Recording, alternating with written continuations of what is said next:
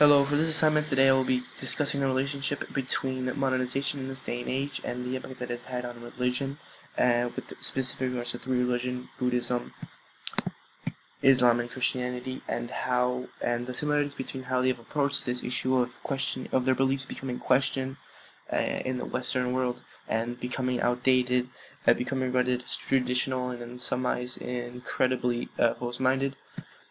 The Buddha, Buddhism was the first religion that I investigated, and at the end of my research, it is definitely the most flexible religion amongst the three in terms of being able to adapt to a changing Western world, and with its core values revolving around being humble, modest, tolerant, etc., and due to their, its accepting nature, being able to adapt and change its perspectives through the stemming of the same religion, such as Buddhist Christians, Buddhist Jews, and Buddhist atheists. However, restriction coming in terms of karma, which has now in the Western world uh, started to be is starting to be viewed in a very nihilistic, harsh, negative light. Um, because we have now realized that it's basically blaming all the things that go wrong in your life based on things that uh, your wrongdoings in the past, in your past lives, which you have no control over, um, which is very quite depressing. As yet, Buddhism has not changed or has said anything on the matter, and has not changed its core value. In terms of Christianity, it follows Buddhism in terms of its flexibility and its ability to adapt into a modernizing world. Its core values revolve around hope, love, and faith, and it has showed some progress in evolution throughout its 2,000 years uh, in terms of the increase of Bible use, the, the frowning upon dark magic, uh, the increase in female priests, and in feminism.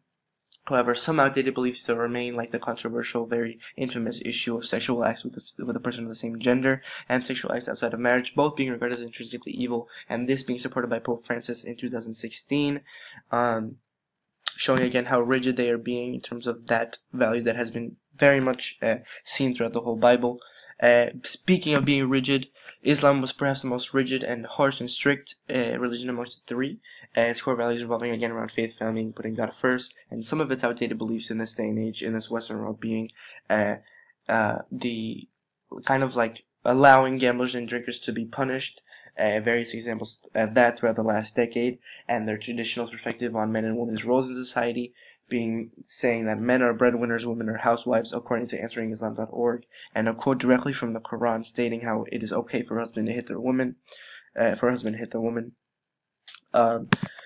so basically, we can take away from all this is that uh, they all religions approach the reforms with a clear no, albeit to different extents, and their main way of changing, if at all, like Buddhism, was through the creation of different branches of the same religion, not actually changing the the core religion, fundamental religion as a whole. And coincidentally, the strictest religion, the one with the tightest leash, i.e., Islam, was the one that brought the most substantial amount of violence and horror into the world, respectively, uh, through terrorism. Um, so what is the TOK in all this? Basically, uh, you can link it to uh, various things. First of all, leading leading me to question why we seem to be fighting on which religion is the best and most modernized, since they all base themselves on different ethical values and different ethical pillars. If we take a look at Jonathan Haidt's five pillars of morality, we can see how Buddhism is most directly linked to the pillar of harm and care, Christianity to the pillar of authority and respect, and Islam as well. So we shouldn't be fighting or competing about which one is higher up than the other, as long as they are both uh, achieving the core principle of religion, which is trying to get us to all act morally and ethically. We mustn't be so quick to judge and recognize where others are coming from, their perspective, before we gather conclusions. However, on the other hand, for some religions like Islam, their belief system was much more, which very was very strict, stricter than the the rest, and it is what sometimes I believe is what sometimes triggers them to act rebelliously, etc. Um, through terrorism as an example, and the implications of pulling the leash too tight is not having enough freedom to think for yourselves and completely relying on your authority figure and what he stresses most when acting morally. Also, uh, spikes my interest in terms of how faith as a way of knowing becomes less and less prominent and trustworthy as our knowledge through other areas grow over time, such as our use of logic and our increasing overdependence in the natural sciences and sense perception to gain knowledge. Reason becomes way more impactful in terms of conducting our lives and our moral compass. Take the example of Islam, for example, and the ever the ever growing idea of everyone is human, everyone is created equal. Thus, using reason, uh, everyone should be able to express it like that. That is outdoing the simple reliance on an authoritative figure, the Allah in the Quran, telling us, simply telling us that men and women have to act a certain way.